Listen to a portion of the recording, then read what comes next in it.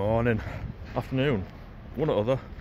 Uh, it's Monday, loaded up in Sherburn. I pulled out of the site just to make some room for them. And now I'm just waiting on Eddie to come and pick me up, to escort me to Heckmondwike. Catch you in a bit. Hello. Uh, I'm just coming through Cleckheaton now with the 4 metre load on. Eddie is in front of me, he's going to clear the path and make some space for me. But until then, I'm just going to sit.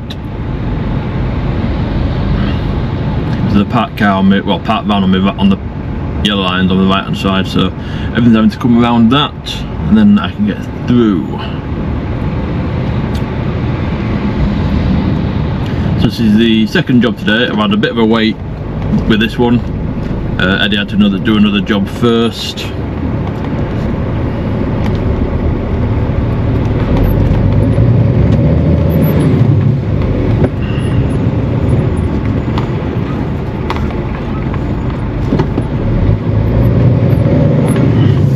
Idiots. I hate car drivers.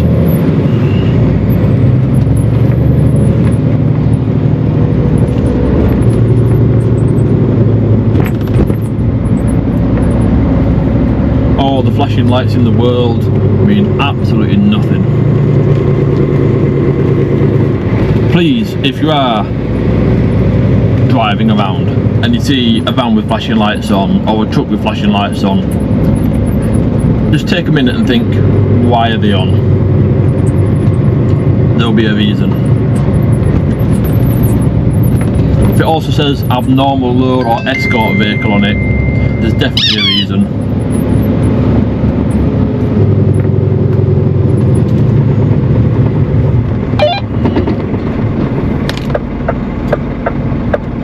The that one. It's a beaver.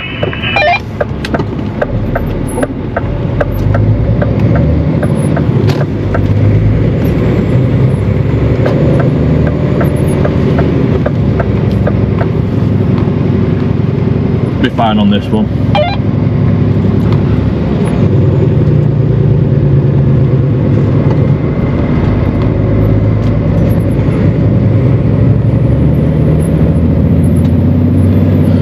Again you have to wrong side islands as well. Uh, like that one there. There was a park car, a gap, the island, a gap, park car.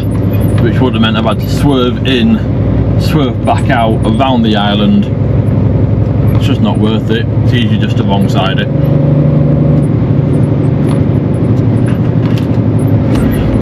Only a mile away from destination on this one. Back it into the building, get it lifted off. Uh, back to the yard, pick up uh, wafer bed trailer. Uh, go to Shaw Cross, load up for Horsham to go tomorrow. But we're going tonight, tipping in the morning. Uh, so Eddie's going to escort me down there from uh, Wakefield all the way down to West Sussex uh, with a stopover and a um, house guest tonight. Eddie's sleeping in here with me up on the top bunk. Unlike Danny, he won't sleep in the van and I don't blame him neither. I won't sleep in the van neither, I'll across seats.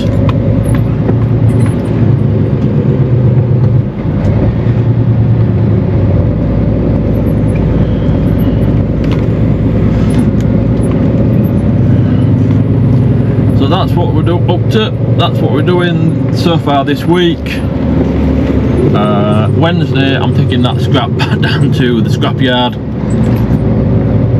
And other than that, I don't know. So I will come back to you later. I'm hoping you can see some stuff in that out of that window when I go around corners and stuff. I think you should be able to. But yeah, I'll um, catch you in a bit.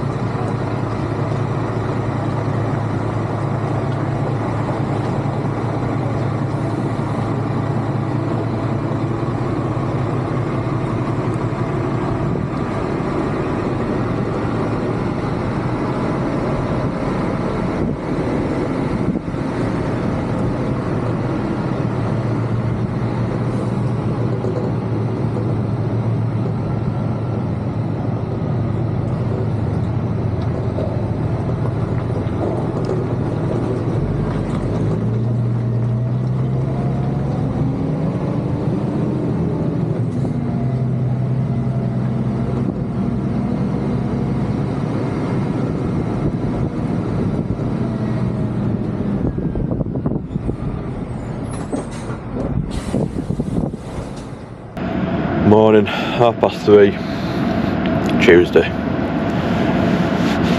Didn't get as far as we wanted to last night. Uh, due to curfews and hours. So I'm only at Woolley Edge, continuing loaded at junction 40. Really didn't get far. Eddie's meeting me here shortly. He nipped back home last night to save having to sleep in cab with me.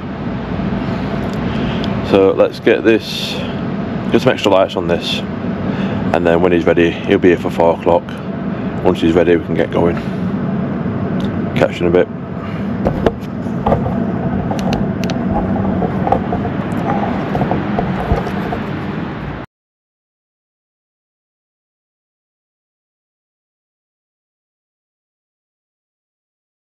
I was going to record doing this, but it's a bit dark and I don't think you can see much and my lights aren't working. So yeah, I'll catch you in a bit. Well, this is us for the next couple of hours.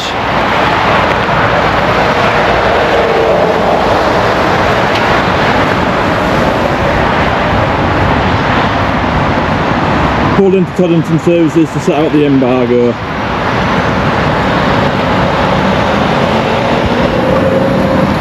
Set off at half past three this morning from Woodall, uh, from Woolley Edge down to Toddington. It took us about three hours to get here. And uh, now we've got to sit and wait.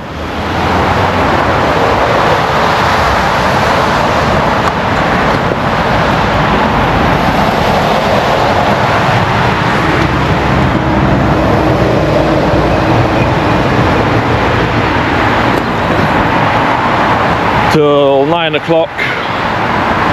Then we can set off again go around the M25 to the M23 uh, and then cut across to Horsham.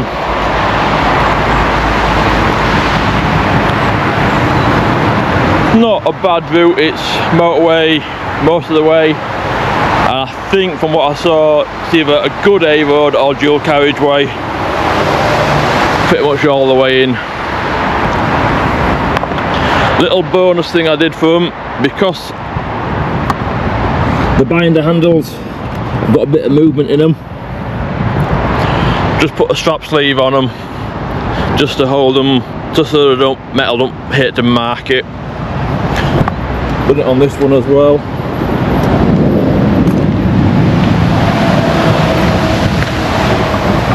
so that chain is holding it forwards and pulling in from the sides. Let's go have a look at Eddie.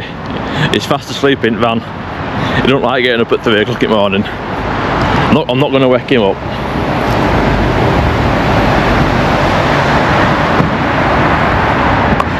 Oh, isn't he cute? I really wish people wouldn't park in the abnormal parking area in the services. It really annoyed me because now I'm sticking out beyond where I want to be. I am going to move forward once he goes. He's just gone into the services now. Ideally, I would have preferred to be over there, out the way. As this top curb looks a bit high from for what I've actually got on. I'm hoping I've got enough room. In fact yeah I'm going to stay where I'll, I'll move forward a bit but stay to the back and then just reverse backwards and drive out up the road. I'm not going past that. I ain't got enough ground, ground clearance. Or turning area to get I want to get want to get out of it. I'm not sure if I've already told you but the the kiosk enclosure 60 uh, 12 meters long. Plus I've got have a look. One two three four meters of neck. That's six that's uh, that's 16 meters.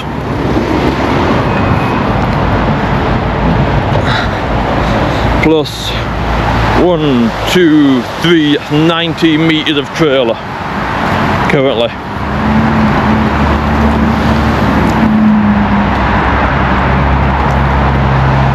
Yeah. So that is a fair old whack. Todd's obviously got rear steer.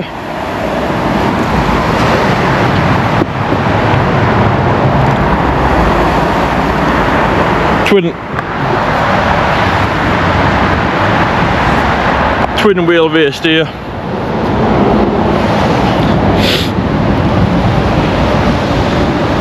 Uh, fully remote, still. I've shown you, you already seen bits of hydraulics in, in action to get, get us out of that site yesterday. And I believe the site we're going to is even worse. So I'll see what, what I can record, but it's, it is a wastewater treatment works, so it might not be a lot. But I will come back to you later on, either with some delivery footage or just to let you know how it went. So I'll catch you in a bit.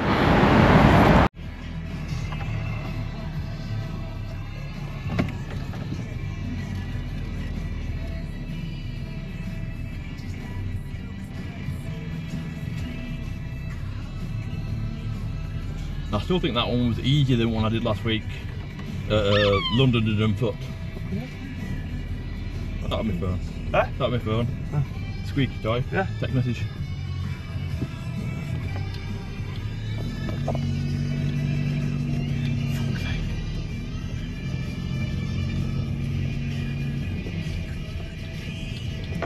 Guess you put your van there then. Yeah,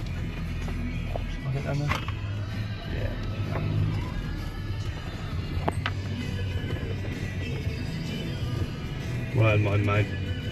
Well, I had on a gone for that, the ripped top fucking bumper off.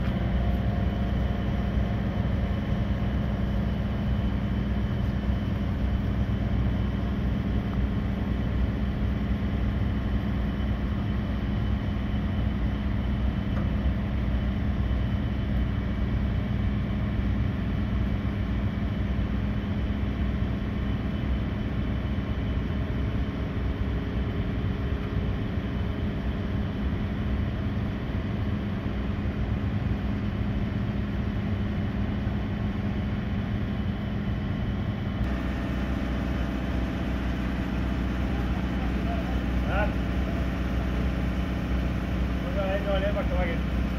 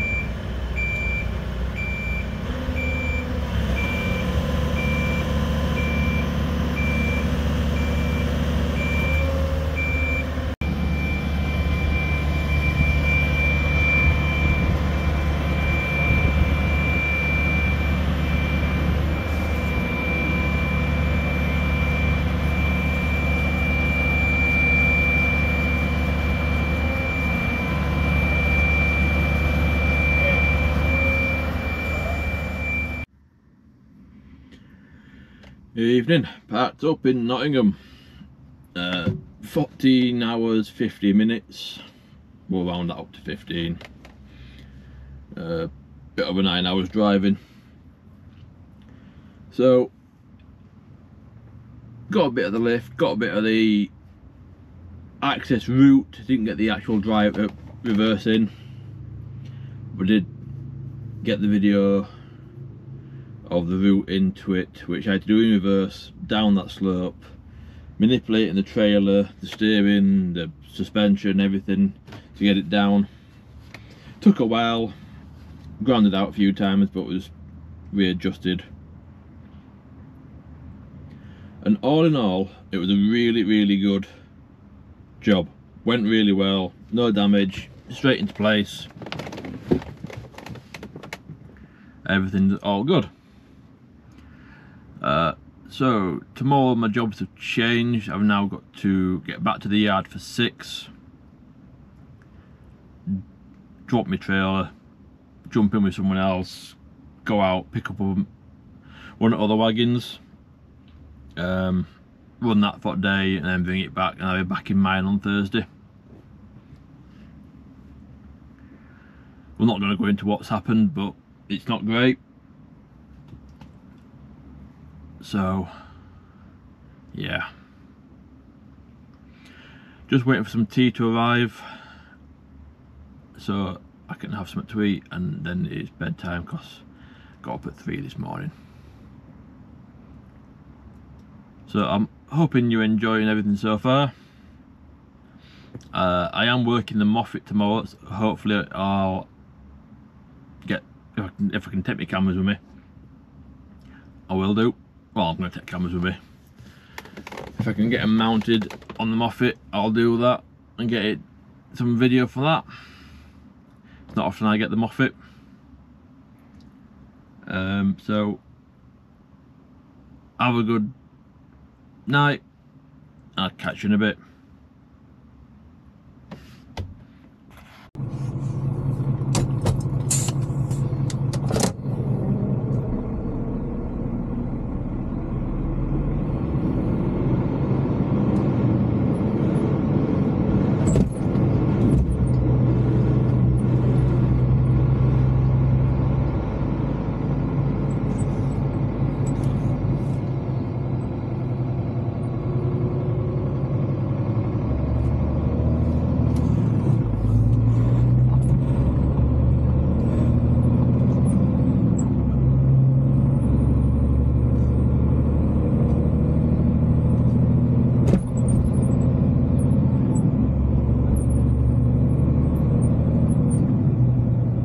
After 900 feet, cross the roundabout and take the first exit.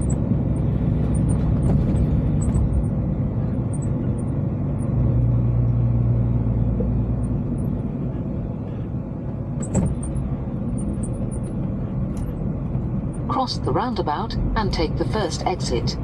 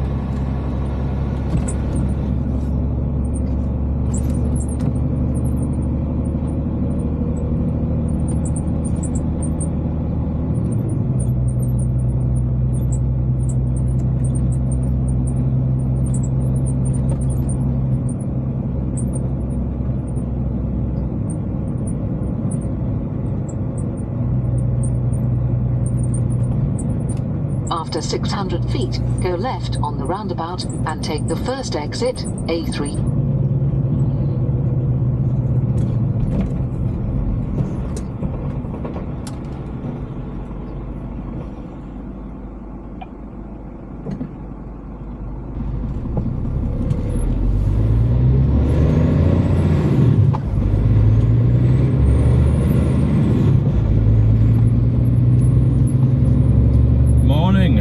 welcome to Friday. Now, you've not actually seen anything from me since Tuesday. Um, and that's not really going to change now either. Uh, I've just tipped in Guildford and I've got a straight run back up to the yard. That's it.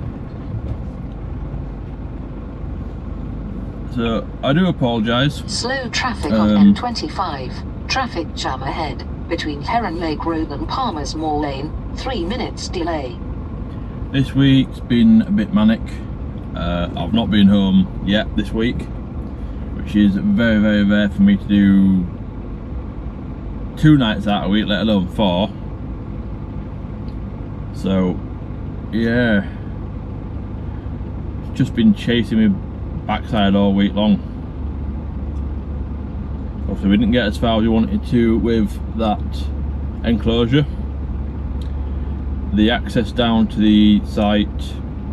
I did a little video when we drove around it in the van. Oh once we brought the van round where we're working I had to reverse all of that route with Daz steering the trailer Eddie manipulating the suspension to get round that 90 degree bend well technically they had to steer me through the gate first turned right out, from the gate into that area where we started in the van then back me out of there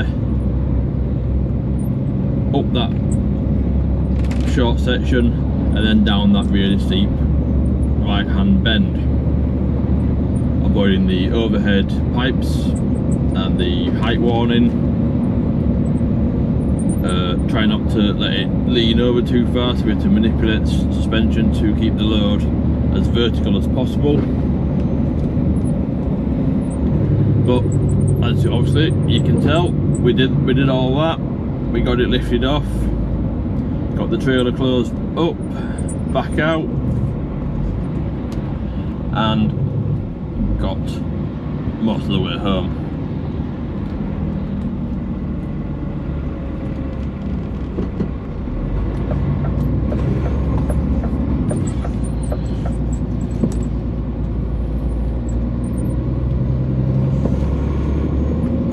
and now I'm just about to get back onto the M3 to the 25 to the M1 or to the M40 and then M1 eventually. To head back up. I'm in no great rush. Got two and a half hours before I need a break. And then uh, just do the rest, rest, rest of the journey up. As yet there's nothing on my phone. Just to pick up. Oh shit! That one was all of me, I was not paying attention at all. Apologies for the language.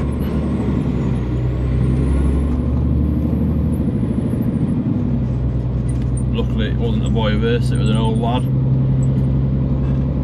And he was on it.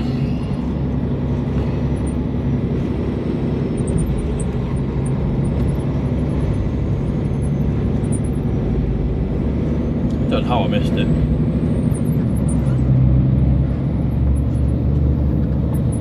Anyway, I'm going to cut you loose for the week. Hope you've enjoyed the little bit that this week is. Uh, and I'll come back to you next week. Catch you later.